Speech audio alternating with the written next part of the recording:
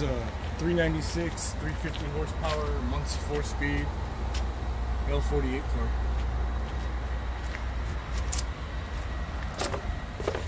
You need $25,000 cash to buy this car.